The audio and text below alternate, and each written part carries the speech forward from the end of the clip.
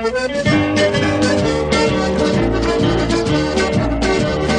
took the bus from Carbonear and landed in St. John's to buy a shirt for Uncle Dick and myself some new put-ons. I thought I'd stay a day or two as long as I was there, so I took the room at the boarding house on Federation Square. Now what a place to stay, you've never seen the like. There were 32 on welfare there and seven more on strike. Eleven cats and three big dogs and old Jack Mooney's mare, all staying at the boarding house on Federation Square. Salt beef and new potatoes was for supper there that night. I was dying for another spud, but I was too polite. Go on, says Mrs. sure no one here is strange. Go help yourself, there's thousands more in the pot out on the range. I went out to the Waterloo and took up the kitchen fork to spare another tater down amongst the hunks of pork. And as I stirred around a bit, I let out three great roars, for in the bottom with the spuds was Mrs. Cooley's drawer.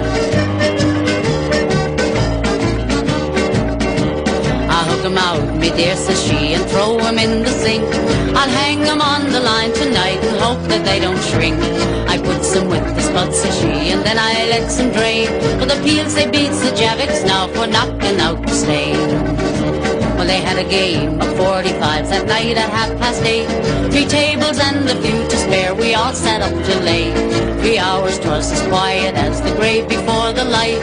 Then on the stroke of midnight clear, they all began to fight. Mrs. Cooley told cheated on her ace, and he picked up a damper dog and stuffed it in her face.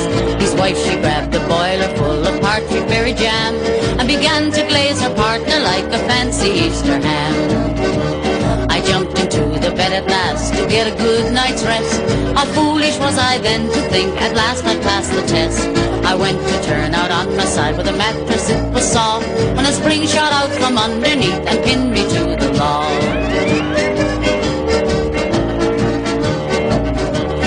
Hanging from the ceiling like a bell on Christmas Eve when I looked down upon the sheet and what did I perceive? A bedbug big as Maury's cat stood waiting on the seam, just licking his antenna like a trouter on a stream. Come down, says he, you've had your feed, and now it's time for mine. The Lord looks after every little creature in his time. Come down, says he, your lovely legs, they look so nice and large.